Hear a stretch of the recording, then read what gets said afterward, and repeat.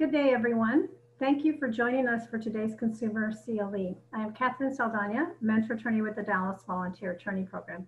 Our program handles a variety of cases. The consumer issues that we commonly see at DVAP are roof repairs, cars, tote the notes, car repairs, that sort of thing. We are fortunate to have Kelly, Kendall Kelly Hayden, a member with Cozen O'Connor, as our speaker today. Kendall focuses uh, her practice primarily in commercial litigation with an emphasis in transportation and hospitality law. She received her Bachelor of Arts in Spanish from Texas A&M University and her law degree in 2003 from SMU Dedman School of Law. In 2012, Kendall was recognized uh, by the Dallas Volunteer Attorney Program as the Pro Bono Coordinator of the Year. Since 2004, Kendall has volunteered with the Dallas Volunteer Attorney Program. She is our go-to expert in consumer issues and continues to also represent DVAP clients in some of our more complex consumer cases. Let uh, Kendall continue with her program. Thank you. Oh, Thanks, Kathy. Oh, I'm sorry. One more thing I forgot. Uh, please hold your questions until after the presentation. Thank you, Kathy. So um, I really am excited to be here, and I just want you to know that I am um, very cognizant of time, so I will not keep you over. I find that to be very annoying during speaking presentations. So if you see me looking over here, I'm looking at my stopwatch on my phone. Um, and I'll, I'll, give you kind of a little bit of overview of what we're going to talk about today. Um, essentially, I kind of fell into doing consumer law cases and I have a lot of fun with them. And I um, really only do them with DVAP and so this, because we are in COVID-19, I thought we should learn 19 tips, tricks, and tales about Texas consumer law that hopefully will get you interested in taking a case from DVAP. Um, and even if you can't take one from DVAP, you know, maybe this will give you a little bit of background if you do take on a consumer law uh, case in your own career.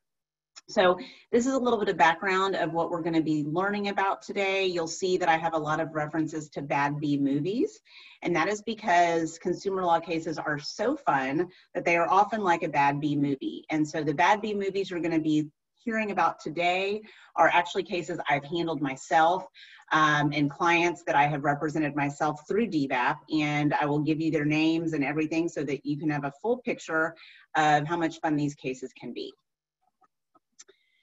one thing you should know in terms of consumer law is that there is an uptick, um, which by the word, I don't think I, by the way, I never used the word uptick until COVID-19, and I feel that I use that word all the time now.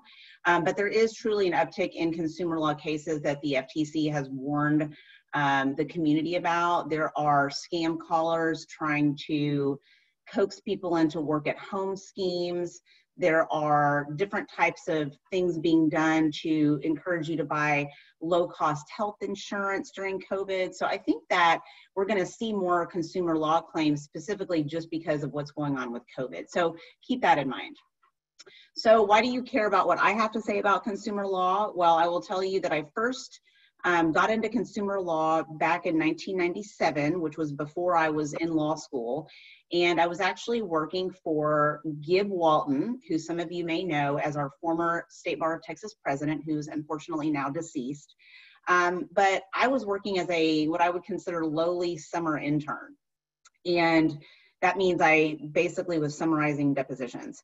And I thought that was thrilling, by the way. But Gib Walton, um, I did not know who he was at the time. At the time, he was a partner at Vinson and Elkins, and he sent out an email to the entire firm in Houston, which is where I was working, and said, "Does anybody speak Spanish?" And not knowing any better and being sort of fearless, I said, "Well, I do."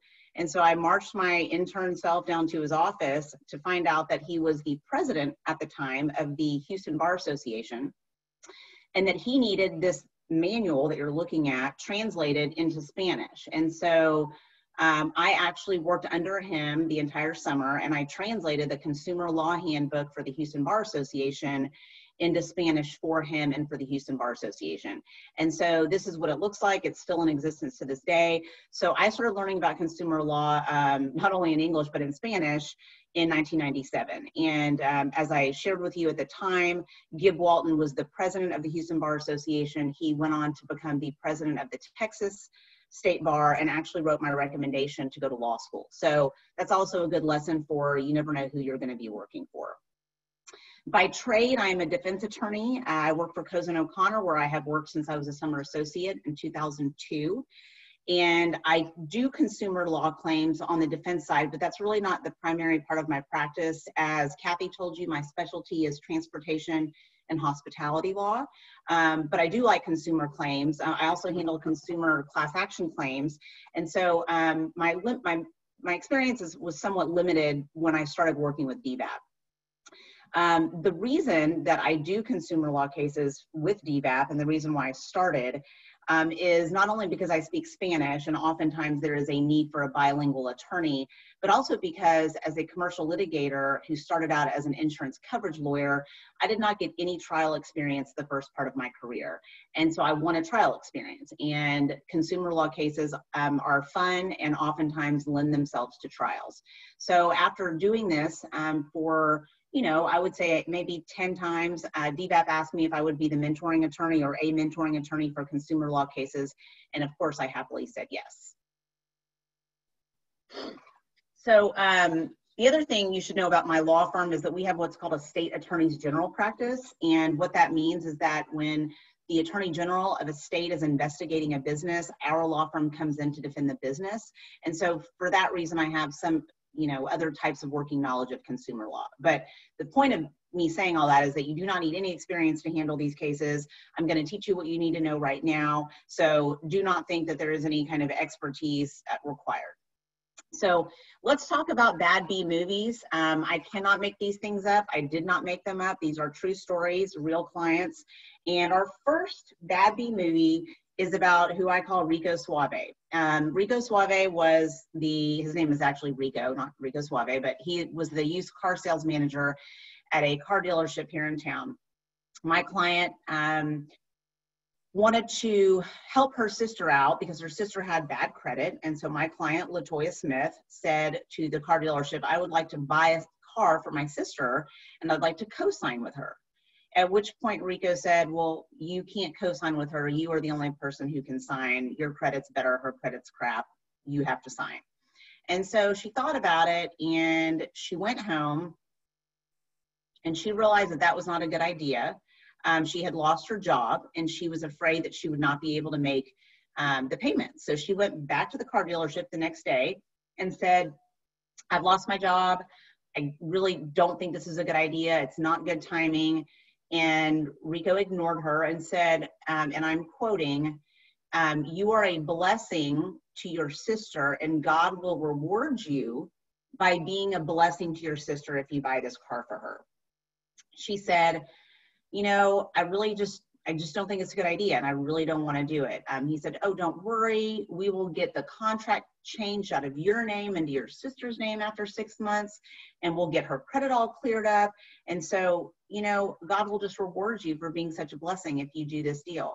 So she thought about it some more and went home and came back the following day. So this is now the second day after she um, signed the contract. I'm sorry, I left that very important fact out. She signed the contract um, and so we're now on day two after she signed the contract and she returns to the dealership again and says, you know, I just really don't think this is a good idea. And she leaves the keys on Rico's desk. Rico, of course, is nowhere to be found. One month later, um, she gets a phone call from the dealership saying, Your tags are in. And she said, Well, I gave you the keys back and I asked you to get me out of the contract. And essentially, I looked at the contract. Um, it was in fact signed and i did not think there was a way to get out of it but i did think that there was a lot of representations that were made to her that were shady shall we say so um, i called her bank they were not interested in getting her out of the note i called the dealership not interested in getting her out of the contract. And so i sent a very friendly demand letter and uh, uh, shared with the dealership and with the bank all of the misrepresentations that were made and why if they did not void the contract that we would file suit in dallas county court. And what do you know? They released her from the contract and she called me and literally screamed hallelujah into the phone. So that is a good example of a happy ending for a bad b movie that i really want you to experience if you take on a consumer law case with dvap so here is a tip um, in case you are unfamiliar with consumer law. or have never handled a case. Essentially, the definition of a consumer is somebody who purchases goods or services for their personal use. Now, this is probably my most favorite Bad B movie story because it involves my personal manicurist, and that is actually my nail salon where I went for a very long time. Um, this is not really a consumer case, but I did get the case while doing a consumer thing, getting my nails done. Um, and I think you should just hear this story because it shows how you can help people by doing just a little bit and sharing a little bit of your vast knowledge of the legal world. So I'm getting my nails done, which I do every two weeks, um, like clockwork. And my manicurist says to me in kind of broken English that she has some paperwork about a child support order dated in February of 2018 and that her the father of her child has not paid child support since 2015. And so I said, well, show me the paperwork. Well, what I realized is that she had a hearing coming up in May um, and that was going to be the hearing where they issued the final child support order. And I apologize for those of you who are family lawyers. I am not a family lawyer. Um, and so I, I, don't know if I'm saying all of the terminology correctly. But the bottom line is, is I had absolutely no experience doing this. And I said, can I go with you to the hearing?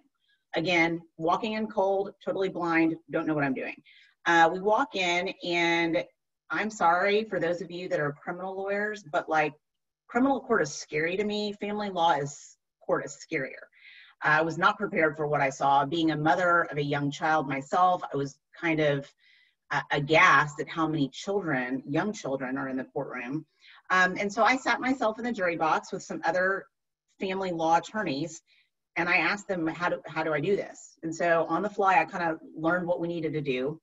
Um, I was able to get the owner of the nail salon, who was my client's mother, excuse me, my client's sister, um, to pull up the 1099s from the father of the child because he also worked at the nail salon. That's actually the first person who ever did my nails there was the father of my client's daughter, or three children rather. Um, and what we realized was that at the previous hearing, where she had been awarded a whopping 317, $317 a month, he had been lying about his income. Basically, had stated at the hearing that he was only making $9,000 uh, as opposed to $30,000 a year. And anybody who gets their nails done knows that those people make bank. And I knew that he was not making $9,000. And he was a good manicurist. So he was at the hearing as well. And he actually spoke English much better than my own client. And I approached him and I said, Do you want to hammer this out now? Or do you want to go into the office with the assistant attorney general and have her ask you the questions. And he refused to admit that he had been lying in the previous hearing. And so we went in to meet with the um, assistant attorney general and she started asking questions. And i got him to admit that he was not only lying at the previous hearing but that he did in fact make $30000 a year. And we did have the 1099s and we were just so you know i didn't have exhibits. I didn't have a whiteboard. I didn't have a powerpoint. I literally had a cell phone of the owner of the salon and the photos on her phone that showed the 1099s. So you don't have to be super fancy in these cases. A lot of these things um, are, are at your fingertips literally. And so that's all I did. And she walked out of there. Um, unfortunately for her, her the father of her three children had lied about how many biological children he had at the prior hearing, which was why one of the one of the reasons why the payments were so low, in addition to lying about his income. But what was gut wrenching for me to watch was him stating on the record that he had no interest in seeing his three children with her ever again. So while that is hard to see, um, I was thrilled when she was awarded $782 per month that he has to pay her in child support. And I'm happy to say that he has paid it every single month since which sometimes in these cases you have to, you know, be cognizant that some people can't pay. So a tip, um, educate your client. One of the first things I suggest you do when you get the file in after you've run a conflict check, of course, and accepted the case from DVAP is meet with your client. Now, a few months ago, I would have encouraged you to meet face to face, but as we all know, um, case in point today, this virtual presentation, we're not doing a lot of that anymore. Um, so I would encourage you, if you are comfortable meeting them in person um, and you can't go to your office, because I can't go to my office right now, visitors are not allowed. So you could go to a Starbucks. You could also FaceTime um, your potential pro bono client on the phone. I have found that when they put a face to a name um, or a face to a voice, they trust you more. And same thing with them. I think all of us are craving human interaction right now. And so seeing someone's face is sometimes a really uh, comfortable way to start business. Zoom is sometimes not available, obviously, for a lot of these clients. And so while you could do Zoom, um, I'm suggesting FaceTime because it's a little more accessible. So not only educating your client, but educate yourself. So um, I'm sure some of you have experienced boredom during COVID and not trying to be a dork, but read the laundry list um, in the DTPA because it's actually funny. There's a lot of funny sort of statutes and causes of action um, that none of us get to do in our everyday life. And as Kathy pointed out, most of the consumer law cases that DVAP gets are um, car, you know, car issues or somebody, you know, trying to get out of contract or roof repairs, all of which I have handled, by the way. And so um, I have not given you the entire laundry list of the DTPA claims because there are 27 laundry list causes of action. But I have written here or provided here for you the most popular or the most commonly used. In case you're wondering what that blurry image is on the right hand part of my screen, that would be an actual laundry list from a hotel. And that's my attempt to be funny, even though you can't see it. So I'm not sure if that was a very good idea. Um, so that you know under the DTPA, which is probably going to be the most common time that you, or common um, cause of action that you use in a consumer law case, you have to give 60 days notice of suit. So when I send my very friendly demand letters, I always do it 60 days before I file suit. Um, you also have to alert them that you're seeking your attorney's fees. And so one of the reasons why I like using DTPA causes of action when I can find them is because you can argue treble damages. You can also argue attorney's fees. And so that really kind of amps up the damages for your client. Another tip um, is educate your opponent. You know what I love to do is I love to tell the defendant that I am representing a pro bono client, um, ask them what their insurance deductible is, and tell them I have absolutely nothing to lose. And usually that makes people understand that you're serious about this. So it's not like a client that has a budget. There is really no budget here. And so I like telling people that. I think it's important for people to know that you're representing a pro bono client. I think it's important for the judge to also know that you're representing a pro bono client. So I was born in 1976, and therefore one of my favorite video games is Atari Pitfall. Um, I want to share with you some pitfalls that you will probably come into contact with when you have a pro bono consumer law client. They like to sign contracts without reading them, or they sign contracts that they did read, but they didn't understand them. Um, as a bilingual attorney, oftentimes Spanish speakers are signing English contracts that they didn't read and couldn't understand. So um, pitfalls usually revolve around just using common sense. Um, but unfortunately, sometimes a lot of these clients are not business savvy. And so what we think of as common sense is something that's sort of something that they don't think about. So for example, issuing a blank check. Again, these are things that have actually happened to my clients. And so that's why I'm sharing them with you. Failing to put agreements in writing. I will share with you a bad B movie story about failing to put an agreement in writing. So one of the lawyers I work with, I asked some people in my firm who also take a lot of DVAP cases on, and I said, what would you recommend for taking on a consumer law case? What are some tips that you may have? And some of the lawyers I work with actually had a great idea. We should come up with, and hopefully in DVAP, this is a little bit directed at you, but maybe a, like a common sense do's and don'ts for pro bono attorneys to give to their pro bono clients, kind of as like a closing letter. Like, don't forget in the future, put things in writing or don't forget in the future don't issue a blank check or don't forget in the future you can't vandalize your husband's car just because you're mad at him. So again real stories real people. Um, also another common sense do note is don't lie to your lawyer. Also happened.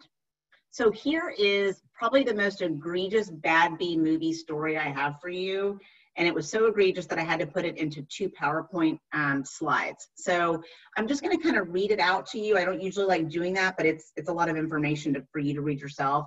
So essentially, my client goes into a car dealership. Uh, her name is Mrs. Meters, by the way, Mary Meters, and she wants to trade in her vehicle. Um, she is told that she is upside down on her equity and that the deal can't be done. Now, here's where it gets just real interesting. So at this point, the pre-owned sales manager, probably Rico's cousin, says, oh, I need a car for my son. So here's what we'll do. I'll take your vehicle, I'll transfer the title out of your name into my name, and then I'll take over your car payments. Okay, just so you understand, this is a personal deal that the car sales manager is doing with my client. This is not like a dealership deal. So this is the used car salesman saying, I need a car for myself. So I will go ahead and put the title into my name. I'll take over the payments. You just give me your car. Well, do we think that was in writing?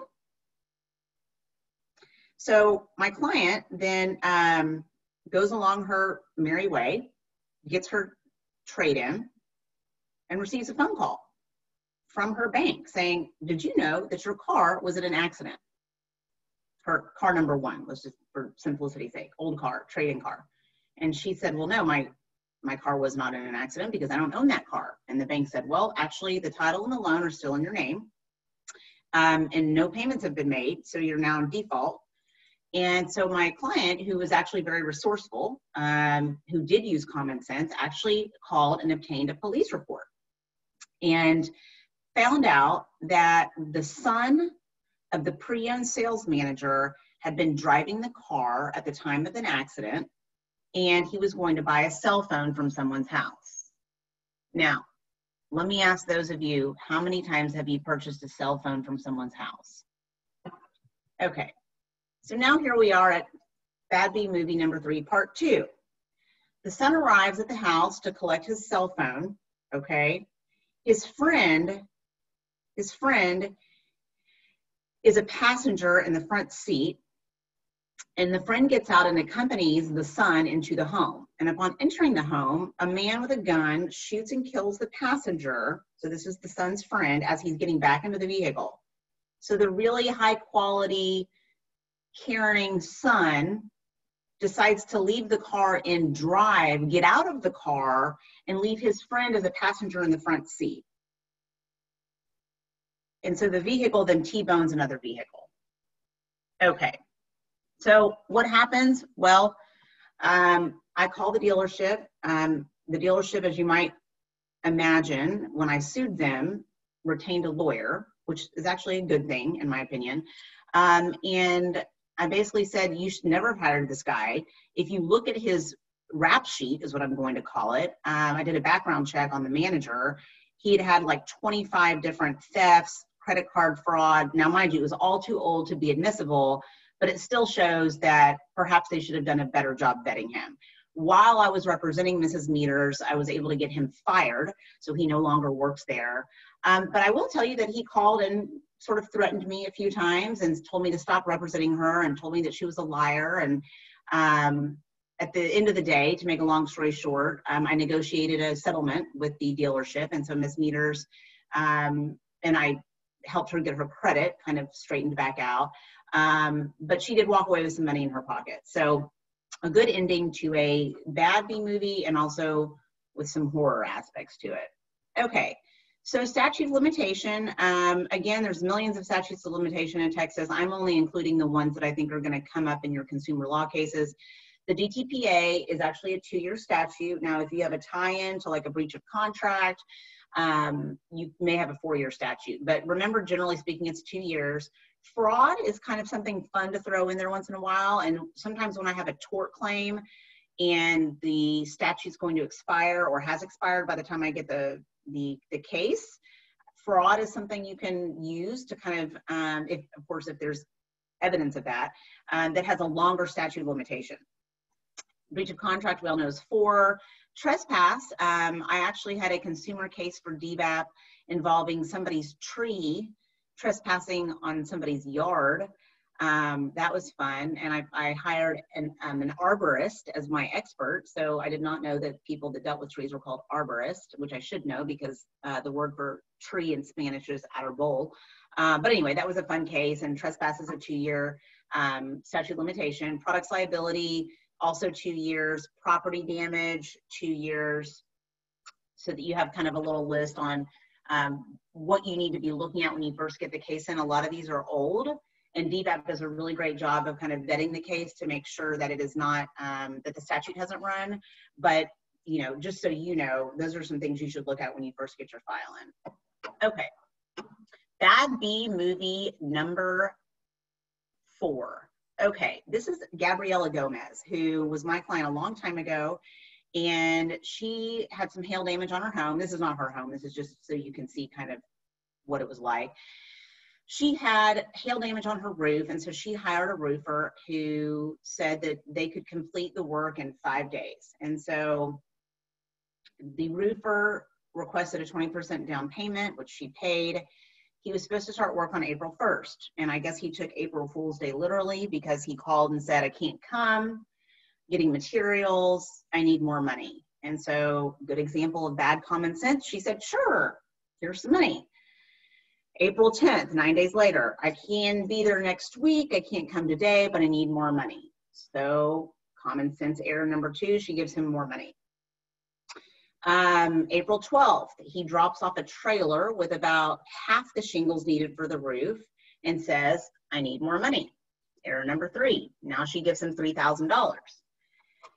April 17th, he shows up and rips off the whole roof, the tar, everything, and creates debris all over the property. Nails, I mean, stuff is everywhere.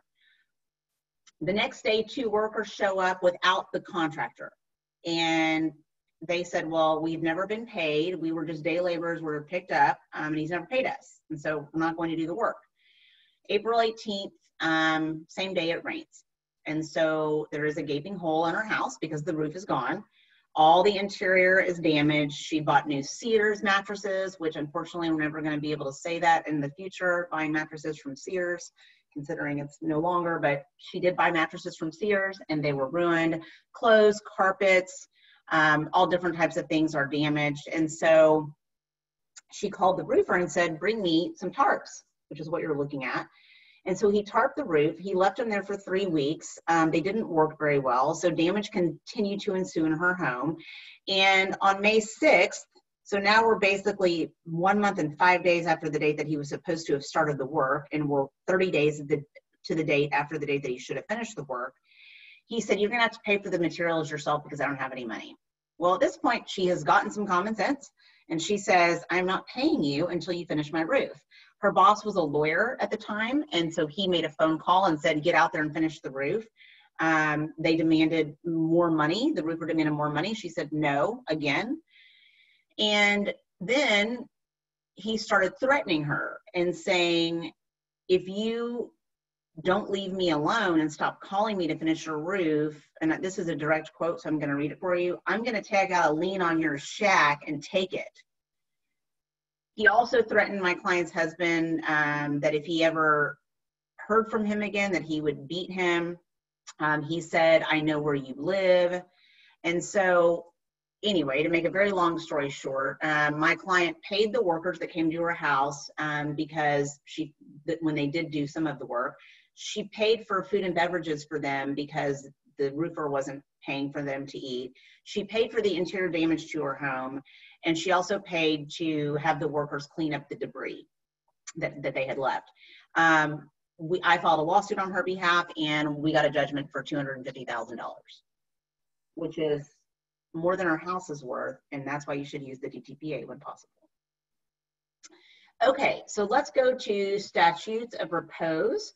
Um, basically, the difference between a statute of limitation and a statute of repose, for those of you who don't know, is that it's kind of like a start date versus a cutoff date. So the statute of limitation begins when like a wrongful act occurs or and you know and it can be extended by the plaintiff being you know not at capacity so if the plaintiff is a minor the statute doesn't run until they not, are not a minor or the statute of limitation can be extended for example under the discovery rule and what i mean by that is well it's been more than two years since I was injured, but I didn't know that I was injured because my injury had not yet, you know, come to fruition.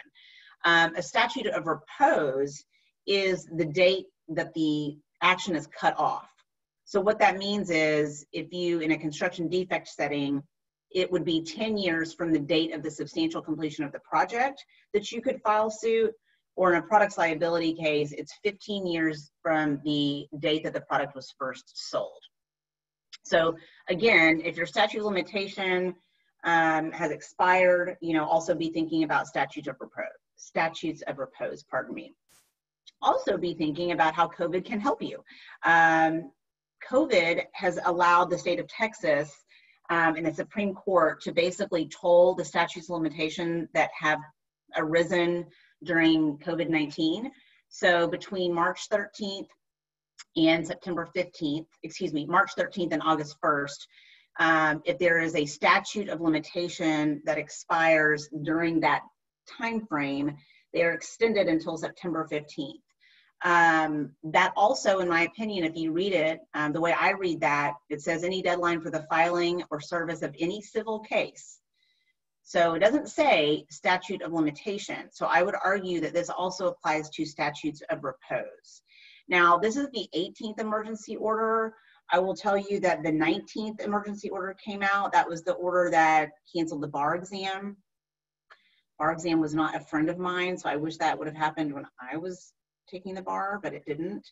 The 20th order that has come out is um, the order that deals with evictions. And so tomorrow we're supposed to get a 21st order. And I would venture to say, although do not quote me or, you know, take my word for this, but I wouldn't be surprised if the statutes of limitation or repose or deadlines, as the rule calls them, are extended again. So that should come out tomorrow. Okay, Bad B movie number five. So DVAP sent me this case and said, hey, you know, this involves a loan totaling $20,000. Um, basically, our client didn't pay the loan back. He's unable to pay the loans. He's lost his home. He's lost his cars, like a country music song. And we, we don't know if this is a very good case. However, it looks like the statute of limitations may have run already. So as I told you, DVAP is really good at like checking statutes of limitation and finding loopholes for you. So I said, sure, I'll take on the case. And um, one of the things that I found, this other fun thing about doing consumer cases is that you have to be kind of creative. And so I find statutes and causes of action that I didn't even know existed. Um, and so I did not realize that the an action to enforce the obligation to pay a note um, actually is six years after the due date. And so, you know, she had not, uh, the, the woman that was suing my client had not figured that out yet, but I figured it out. And so, unfortunately, I realized that even though she hadn't alleged it yet, she could at any moment. Um, and so I didn't share that with her, but I did take on the representation. And I basically made the longest settlement payment plan in history. Um, and it was three years long in order for him to pay his debt back. Now, of course, I didn't make the deal where he had to pay the whole debt back because she was charging ridiculous interest rates. And so I made a deal with the lawyer, who the, the bank was represented by an attorney, um, that he would pay $10,000 back over the course of three years, which, um, if you're counting, at $350 a month takes 28 months. And I will tell you that every single month I wrote him a letter and I reminded him about his payment and every single payment he made on time. And then after two and a half years, he sent me a thank you note in the mail, um, and I still have it to this day. And that's that's the fun thing about these consumer cases is I've gotten lots of really cool gifts from my clients. Okay, for you young lawyers or you older lawyers like me that don't get to try cases, this is a great way to try a case. And um, I have found that people are people meaning the judge um, are more sympathetic when they know you're representing the client pro bono and when they know you haven't tried a case yet. So don't be scared. Uh, it's a fun way to get some experience. So what are some resources that I use or that I recommend you use? Well, first of all, my client Gabriela Gomez, who hired the roofer, she actually called the BBB, the Better Business Bureau, before she uh, retained me. And found out that the roofer was not licensed. And so, of course, when I sent my demand to him, I included that in my demand. So, um, if you don't have time to do all this, have your client help you. A, a resource is your client. Um, Mrs. Meters in my really bad B movie about the car that got into the accident, the T-bone the other car uh, with the guy that was shot. She actually called and got the police report herself. And so um, if your office is smaller or you're, you know, light on people right now because of COVID or just because you're a smaller firm, I would encourage you to have your clients do those things. Um, public data, my paralegal explained to me, who's awesome, and I would encourage you to rely on your paralegal because they do, or at least mine does, great investigative work. Um, it's a $15 a month subscription and you can get 600 lookups. And so it's not free, but it's not in the grand scheme of things that expensive. Um, Google is something that we all use. However, I will tell you that you would be surprised that we will use a service like a TLO, for example, in my law firm, which is like a background check light. Um, and I, I have a real world example in my TLO that I did of somebody. He had a criminal charge against him in a trial, and it didn't show up in the TLO, but it did show up on Google. So um, just remember, don't underestimate Google. Spokeo is good if you're in a bind for needing like a telephone number or an address, um, reverse phone lookup, and lastly, online county records. Dallas County or Collin, depending on where you are, um, has a lot of good information. So let's make a deal. Um, I love settling cases. I think I'm good at it. And it's really fun doing it in a consumer law setting for a pro bono client because guess what? Lots of people don't have any money. And so um, there are different ways you can settle cases. And so, like the payment plan that took three years but worked, um, in the real business world, most people would never agree to that. The pro bono world is different.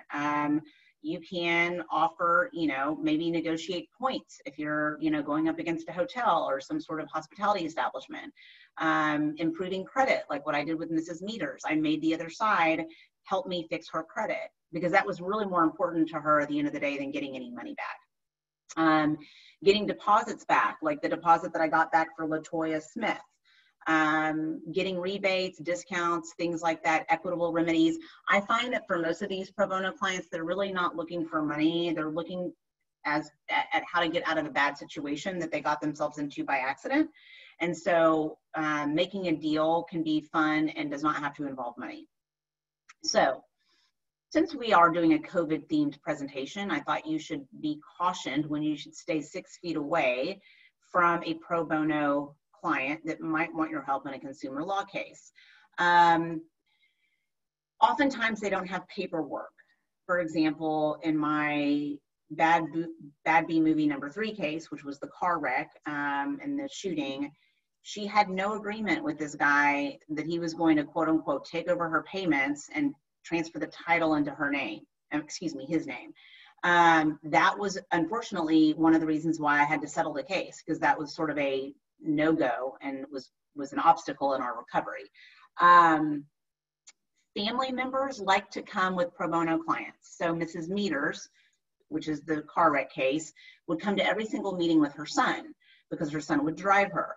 And what you have to be careful about is understanding that you're representing Mrs. Meters, or I'm representing Mrs. Meters, I'm not representing her son. And so sometimes the family member has the best interest of the client at heart, and sometimes they don't. But Beyond that, there is no privilege if you are talking to people at the same time. So I try to, uh, or if I'm just talking to her son, a lot of times her son would call me and want to talk to me, and I would have to remind everybody that I'm representing the mom. So um, just remember that. Um, again, I'm not saying you don't take the case. I'm saying just keep your distance and make sure you're advising your client appropriately. Um, sometimes pro bono clients have co-signers um, that are a friend and may have a, an interest in the outcome of the case. And so be aware, for example, in my case with Ms. Meters, she had somebody else sign the note for her because her credit was bad. In my Latoya Smith case, um, there was no co-signer, even though in my opinion there should have been. So just kind of keep that in mind that sometimes there's a friend involved and you want to make sure that those interests are protected and resolved at the same time that you resolve your client's case. Obviously, the recoverability of a defendant is an issue. A lot of these people, whether it's your client or if you're the plaintiff, the other side doesn't have anything to recover from. Um, that is something that you should figure out up front because it's not, I don't want to say it's not worth taking the case, but you're going to have to tell your client the recoverability is an issue and, and may ultimately result in nothing. Um, to that same note, um, make sure if you don't have any insurance background, of which I have a lot of, that if you're drafting a petition, that you do not argue your client out of insurance coverage, meaning that if the defendant has insurance, that's your money pot. And if you don't draft your petition correctly, then you may not trigger the insurance. So that's another thing. That's why a mentoring attorney is a good idea. I've actually had a specific conversation with another attorney in Dallas taking on a consumer law case who called me and I explained to him how to how to make sure the insurance is triggered. And and also how to figure out whether there is insurance and you know how to get to the bottom of that sort of sometimes black hole. Um, the other thing is, you know, proof of payment, purchase orders, invoices, leases, notes, all of those things are things that sometimes pro bono clients just don't have. Um, the thing I've seen a lot of is the back of a contract. So they have the first page of the contract, but oftentimes the back side of the contract is where all the fine print is. And it's really important for you to make sure that you have um, the full copy of the paperwork.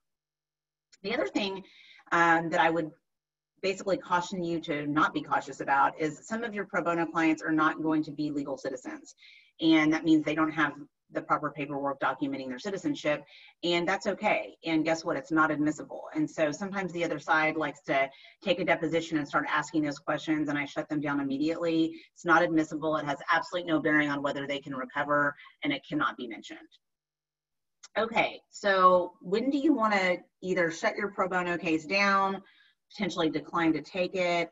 Um, first of all, DVAP is amazing at making sure those pro bono clients call you. And so they have a duty to call you first, just so you know you're not hunting anybody down. Um, case in point, I accepted a bilingual consumer law case from Whitney, that's the DVAP paralegal, earlier this week or last week during the will. I think it was during the clinic I accepted it. Anyway, um, once he got my phone number, Mr. De Los Santos must have called me six times in the same day. So that is what they're supposed to do. And if they are not responding to you, then you have the ability to talk to DVAP and they will allow you to close down your case. Um, questionable reporting of income. What do I mean by that? Well, um, my client, uh, I will not name the name, um, but I handled a pro bono case, consumer law case for, for the client. And I was asked by this client, this happens sometimes, to help this client on another case, a new case. And when I went out to the person's house, I recognized that there was a discrepancy in the amount of income they appeared to be reporting versus how they were living their life. Uh, meaning their cars and handbags were nicer than mine. And while some people are house, you know, house poor and personal property rich, it just didn't sit right with me. And so I told DVAP, I said, I just have a little bit of a concern that this person is not really in need of pro bono assistance. And there are so many people who are in need that I just wanted to work with somebody else. And DVAP was really supportive and agreed that we didn't need to take that case. Um, your own personal safety, I will tell you that the Rico Suave's cousin, the used car sales manager in my Mary Meters case, um, threatened me a couple times, threatened my client a couple of times.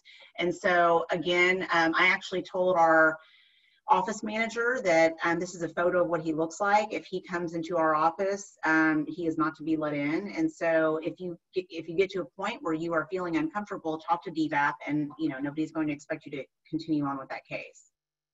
So we are now to Bad B movie number six. It is our last Bad B movie and it's a way I like to end the presentation. So Mr. R.D. Leggins was my client, 87 years old. He had a disabled grandson who had his car repossessed. Um, and when they repossessed the car, it was at his grandfather's house. This is not his house or his car, by the way. Um, and the repo company totally damaged the gas pipes. And so the city condemned the home, the city of Dallas condemned his home and cut off his gas because of the damage to the gas pipes. So they had no gas to cook with, no gas to keep warm or bathe. And this is starting on Christmas Eve all the way through January 25th. So for one month, they used propane tanks. And ironically, I'm getting chills telling you this because it's just so sad um, inside of their home to heat their home during the Christmas season. And not only does the grandson walk with a cane, but also the grandfather walks with a cane. So Mr. Leggins took it upon himself to be very resourceful. That's my client. And he actually sued the car dealership and the repo company. Um, the dealership never showed up. And so he got a default judgment against the car dealership. And then the car dealership um, filed an appeal, okay, and didn't show up to the appeal. And so my client won the appeal. Um, and so then the dealership filed a motion for new trial in front of Mark Greenberg in Dallas County Court at Law number five. And my office represented Mr. Leggins at the motion for new trial. And during the hearing, we won. The motion for new trial was denied. But the car dealer asked in open court if he could fire his lawyer because he was represented as well and hire me, which was very funny. Um, and he was very serious about it because after I got back to my office the next day, he called me and, and assigned a new file to me, which I had a conflict and I couldn't take. But um, you might even get business out of doing consumer law cases. So um, that is really it for me. I am available here for the next 15 minutes to answer questions that you may have. And I am sort of new at answering questions, but I think I can figure out how to look at them. Okay. Uh, what's the CLE number is what I was asked. Oh, and then Maricela, you've already responded.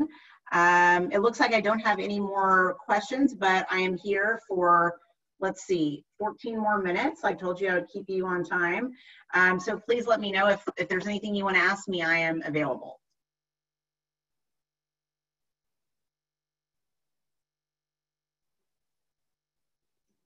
Oh, I have a Q&A. Hold, please. Thanks, I bought a phone from a person.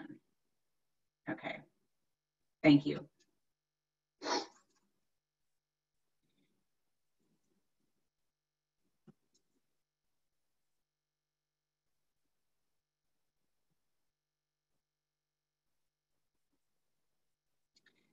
Yes. So the question from um, one of our one of our panelists and guests is, can I share a sample demand letter?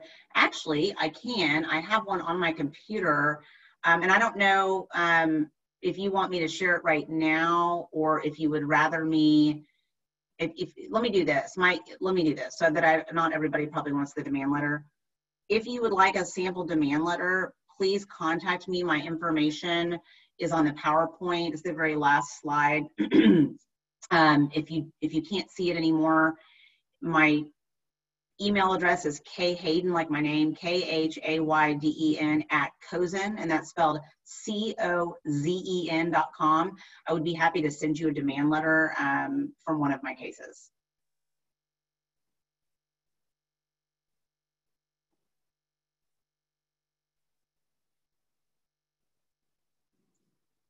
Oh, here's some more Q&A. Is there a code that we need to report? Um, Maricela, you might want to respond because somebody was asking if there was a code that we need to report. And I know that you provided that on the chat yes. line, not on the Q&A line. Okay. Um, okay, so I have a couple of questions here. For newly licensed attorneys, other than the pitfalls that you've listed, what are some immediate things you believe are necessary to handle these types of matters. Um, an O'Connor's Causes of Action book, you can handle these. And I really feel like, um, I, I mean, I would make sure that you're, if you're a newly licensed attorney, which is the question that this came from, I would make sure that there's somebody in your firm that can mentor you, that can look over a draft of a lawsuit for you. Again, if you don't have those, um, then you can use the mentoring attorneys that DVAP provides.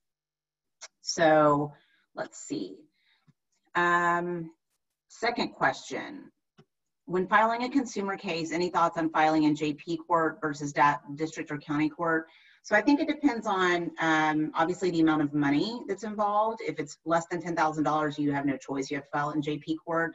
Um, but typically I allege DTPA and it amps up the damages. And I, I always like to amp up the damages because I think it sends a signal that your case is worth more. Um, so it's almost like you're admitting that your case is worth less than $10,000 if you file it in JP court. So I'm not suggesting that you come up with fraudulent damages, um, but some cases you just have to file in JP court, like my trespassing tree situation, that was like a $500 issue. Obviously, I'm not going to file that in, in district court. Um, but I think that sometimes you can get more traction in district court only because it's not as busy. Um, and again, you're able to seek more damages. So I think it, it depends on kind of what your time frame is. And, um, you know, when you go to JP court, a lot of times you're sitting there for four hours before your case is called. But I have done both. Um, and I think it just kind of depends on the facts of your case. While you took these cases pro bono, did you get attorney's fees? I did not get, I got attorney's fees awarded, but I did not recover those attorney's fees. Um, and I actually have asked our pro bono coordinator that question. We have a pro bono coordinator nationally for our law firm. And my understanding is that while I can get an award of attorney's fees, I'm, t- I'm doing the case pro bono. So I would not get those fees back, or our law firm would decline to take the fees. But that also may be my law firm's position. Um, DVAP may be able to answer that question a little bit better. Next question, did the roofer with $250,000 um, have money or insurance to pay? The answer, unfortunately, is no, he did not. Um, he was not licensed, and so um, he had also kind of like skipped town. So unfortunately, she had a really pretty piece of paper that I, and I explained to her how to renew the judgment every 10 years, which you have to do in Dallas County if you want your judgment lien to stay good. So um, unfortunately, he may have money now, but he did not have money when I got that judgment. Does DVAP provide mentors for consumer law cases if I accept a case? The answer is yes, they do, and I am one of them. Please remember that Justice Court will be going up to $20,000 shortly. Thank you, Mark Snyder, for telling me that. So for those of you who heard me wrong earlier, that JP Court is only $10,000, it shortly will be increasing to $20,000. And thank you, David Ritter, also for telling me that as well. So the other benefit in doing these cases is you also will learn something as well. Um, attendee anonymous, do you have more specifics on what to avoid in a pleading when it comes to triggering insurance coverage for the opposing party? Are you referring to a fraud claim since I understand insurance coverages often exclude that? Seems that many of the pro bono claims center around fraud, so wondering if you mean that or something else. No, I was not referencing that. I was more referencing um, that there are, you know, certain tricks of the trade to triggering insurance. Um, so basically, a general liability policy requires there to be property damage or personal injury. So again, I don't want you to fabricate things in your lawsuit, um, but if you're only talking about a monetary loss, for example, because of a failed contract, that probably isn't going to trigger insurance coverage. Now, this is just one example of many um, that I could tell you about um, in the contracting setting, meaning a general contractor or a roofer that you might be suing. Um, there are certain exclusions for an insured's work. And again, that's a whole different, we could have a whole seminar on just that exclusion. But that's why I recommend working with a mentoring attorney or working with a lawyer in your firm that has some insurance background um, to make sure that you are using insurance if it's available. One thing that a lot of people don't know is a default judgment in Texas, once it becomes final and non appealable, the insurance company for the defendant against whom the default judgment was rendered does not have a duty to defend the insured because that delay of the judgment being both final and non appealable means that there is prejudice as a matter of law under Texas law. So let me use my roofer example. In the case where I got the $250,000 judgment, that default judgment should be forwarded to the insurance company. In our case, there was no insurance um, before the judgment becomes final and non-appealable. It becomes final 30 days after you get it, um, and then there's a, there's multiple appellate deadlines. But I would do it as soon as possible um, because an insurance company may have a defense to paying the judgment if you don't let them know immediately.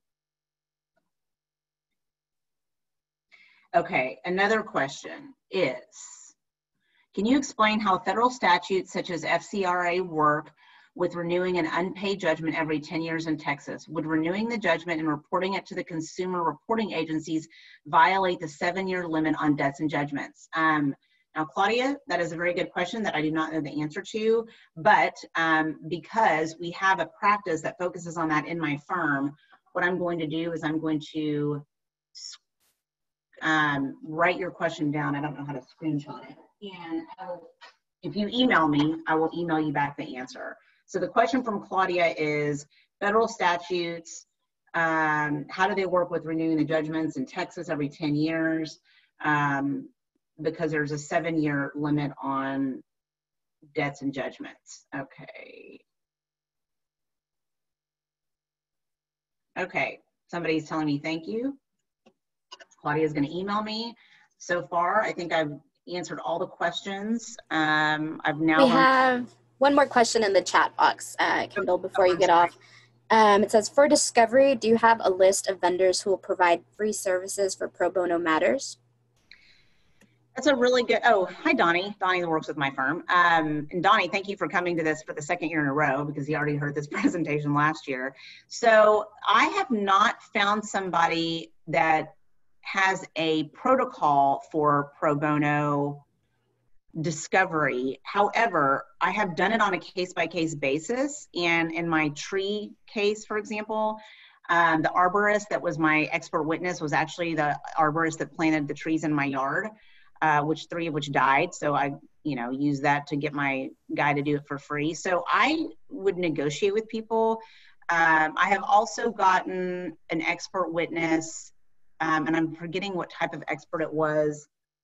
It was a roofing expert, and he agreed because our law firm uses him so often to go out and look at a roof for me um, free of charge. So I, I can tell you that at least my experts have been willing to do it. I would venture to say some court reporters may do that. I think the only difference is, is that, you know, they're creating a product, meaning a transcript, um, and somebody has to pay for that. Whereas mine were more advice driven.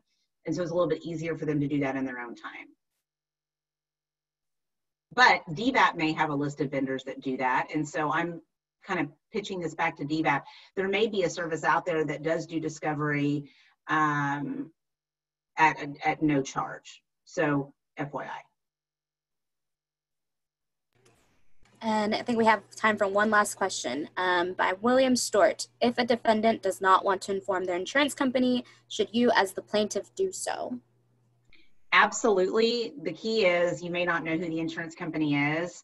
Um, so you're going to have to send discovery to get that information. There's also a case in Texas called Crocker, and it's not a very good case because what it basically says, um, it's a I think it's a Fifth Circuit case, or is it a Texas Supreme Court case? Anyway, it's a Texas case.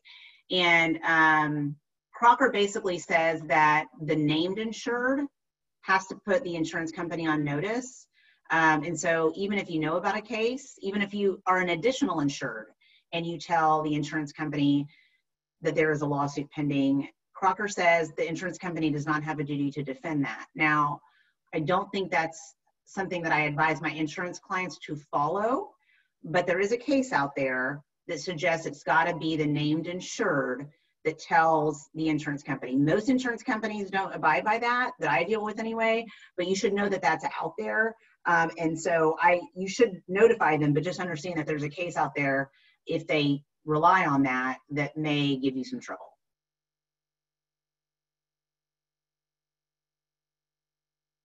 All right, I think that's all the questions, Kendall. Um, if you have any last notes before we hang up for today, thank you again for speaking and giving such a wonderful presentation. You are so welcome, and thank you for Cozen O'Connor for attending uh, my presentation, and everybody else, please email me if I can answer any more questions for you. Thank you, everyone. Have a good rest of your day.